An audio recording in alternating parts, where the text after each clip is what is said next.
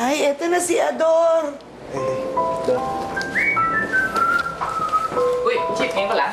Traffic eh. Ah, Kala ko ba bakasyon ka? Ah, may importante kasi akong inayos dun sa trabaho.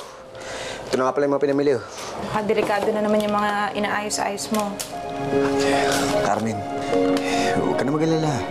Lagi ko naman sinisiguradong ligtas ako eh. Sorry na. Sige na, puntahan mo na yung anak mo doon. Kanina ka pa hinihintay. Oh, Ador! Andiyan ka na pala. Ito yung mga pinamili mo. Teka, nasaan yung mani? Mani, Oo, mani. naiwan ko sa, sa palengke. Ay, ako na lang po bibili. Ako na lang bibili. Bibili rin naman ako pulutan eh. Sakto. Yung mga karne, pinalambot ko na. Iluto mo na yan. Aalis na ako. Eh, sandali oh. Usapan ho natin. Tayong dalawang magluluto ah. Naku, pasensya ka na, Apo. Eh kasi may emergency meeting. Yung mga kagawad, kailangan ako nandun. Oh, sige, maiwan ko na muna kayo, ha? La, ingat mo kayo ah. Oo. Pag tira mo ako, Carmen, samahan mo ako. Tayong dalawang magluto ng kare-kare. Ako hindi gagawa pa ng homework si Junior. Marami kaming gagawin. Sige na. Tayong dalawa na magluto. Marami nga kaming gagawin. Hindi ka na.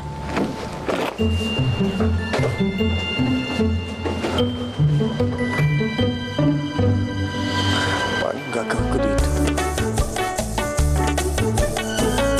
Matagal pa ho ba?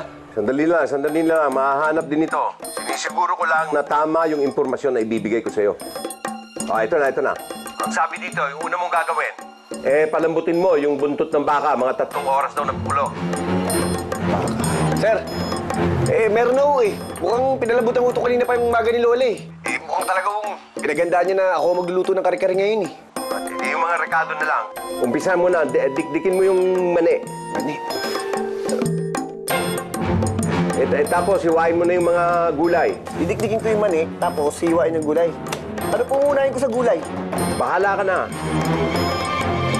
Ano pong klaseng hiwa? Yung pagitna o palis? O yung katamtaman lang, yung madaling isubo. O, tapos hiwain mo na rin yung sitaw at saka yung talong. Sir, ano klaseng hiwa po? Bahala ka na.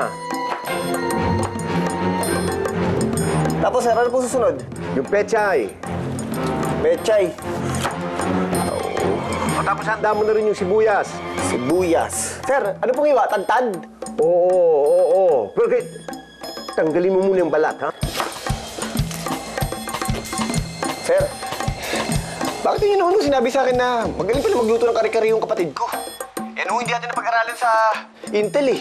Malay ko ba na magiging national security concern ang paggawa ng kare-kare?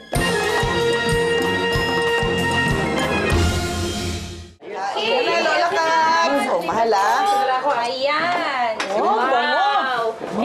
Kompleto ang kare-kare ni Ador pag wala itong espesyal na bagoong naluto ni Carmen. Tama, tama. Ay, mukhang mapapasarap na naman ang kain ko nito. Wala nang diet-diet. Ador, nasaan na yung kare-kare? Ay, kare-kare.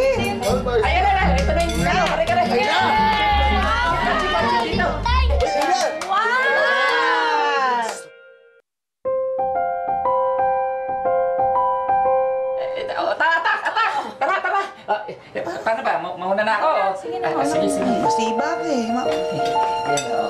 May ibang tao pa, Benny. Ayan. Lola Cab, mga tingnan ko. Lola Cab, nauna na kami, ha? Ako po, sige doon. Ano yung buong mani? Talagang ano, hindi ko dinurog yan.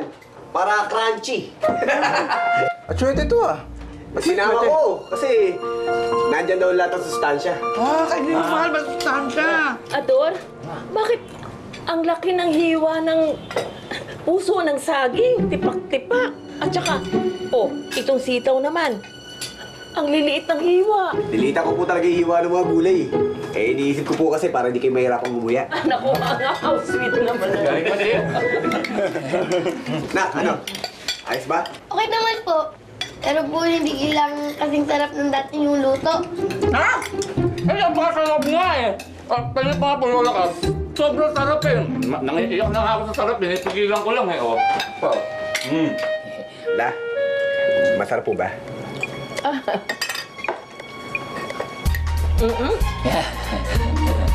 Masarap.